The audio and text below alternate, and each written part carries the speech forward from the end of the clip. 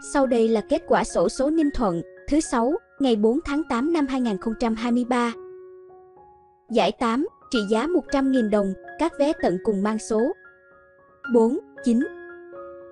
Giải 7, trị giá 200.000 đồng, các vé tận cùng mang số 5, 0, 1. Giải 6, trị giá 400.000 đồng, các vé tận cùng mang số 0339 1827 3611. Giải 5, trị giá 1 triệu đồng, các vé tận cùng mang số. 7653. Giải 4, trị giá 3 triệu đồng, các vé tận cùng mang số. 20533 09438 80326 69611 43776 40969 44212 Giải 3, trị giá 10 triệu đồng, các vé tận cùng mang số.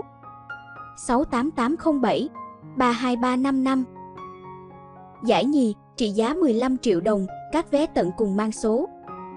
63580 Giải nhất, trị giá 30 triệu đồng, các vé tận cùng mang số. 02667 Giải đặc biệt, trị giá 2 tỷ đồng, các vé tận cùng mang số.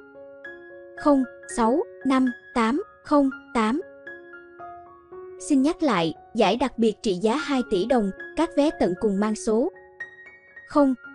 065808